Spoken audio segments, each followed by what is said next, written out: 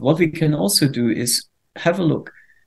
This is, uh, say, say, you know, we've got um, 100 time steps and we end up at the most at plus 30, minus 30.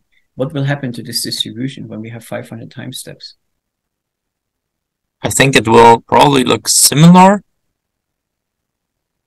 Yeah, but what do you think will happen? Where will we end up with the values here? It might be higher, like because we have like more and therefore like we have more extremes, so to say, more outliers So in what, that way. what what you're saying it spreads out more. Yeah. Yeah.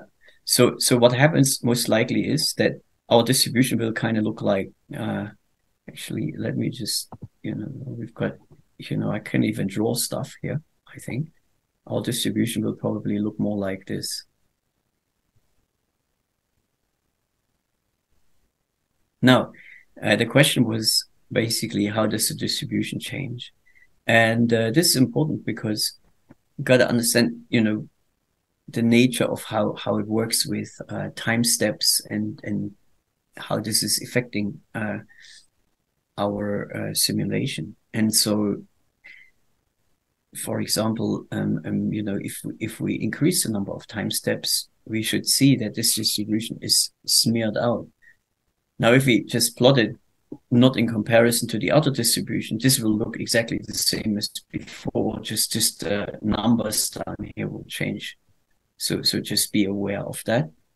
Um, so let's just run this again. Should run a little bit longer because you know we've got 500 and 100,000 now, but you know it it ran very quickly. You know, two seconds for 500 time steps and 100,000 trajectories. And you can see it's a very nice distribution again, but as you can see now, instead of what we had before 30, it actually smears out all the way to about 70, 75. And there's also an interesting question. Why, why do you think when we had 30 before, now we have 500 time steps instead of 100? Why does it end up around 70? So, so it's, it's more than, than double, but it's not you know, it's not exactly that.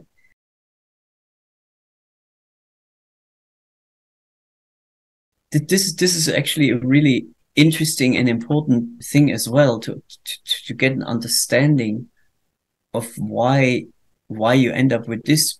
You could we could end up with five times as wide a distribution as before, but but it's sort of around double. Um, what do you think? When we look at how time series spread out, right, that's a function of a volatility. So what means is if we have higher volatility, we get wider spread, right? And so what's interesting is that, and this is something to remember, which is kind of a, a, crucial part of, of quantitative uh, trading, that volatility scales with the square root of time np dot square root. So so this is basically number 10 of. So so see this? Before we had square root of 10, now square root of 100 is 22.36. So it's 2.23 times more than before, you know, when we go from 100. And now if we, if we go this number, so, so let's just divide this by 10, you know, then we've got the 2.23 here. So it's just a thing. And then what we do is we say times. And you remember we went about 30, you know, it was about 30 also, I was like, just, really roughly. So we actually end up with uh, 67, right? It's interesting, right? Before we, you know, we had like around 30 and now we have like, you know, 70 somewhere around there. So it's not perfect, you know, like because we just work completely on random numbers.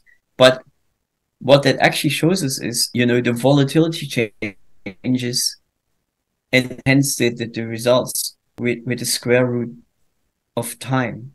And so if we have a time series that is five times as long, then our our volatility or our divergence effectively changes by a factor of 2.23 or 2.24. And we can see this here in the distribution. It's interesting, isn't it? So what did we learn from this? We've basically done a pretty large scale simulation here, right? We've built this whole thing.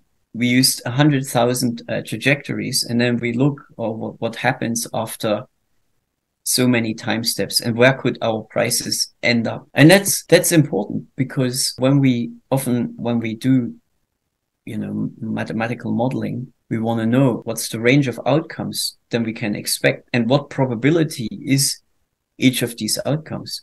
And in this case is fairly straightforward right? The probability is just zero right? But you know we could have uh, different ranges and this is actually something I want to show you as well, you know, because it's not always like that.